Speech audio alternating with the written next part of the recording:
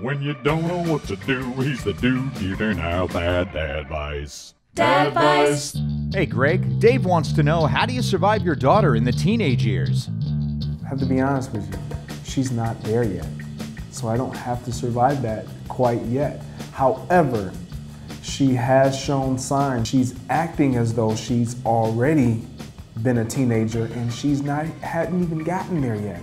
So for me, it's just really nurturing her along that path and not trying to fight her, if you will, or be resistant, but trying to understand her side more. Obviously, we know as parents what's best for our children.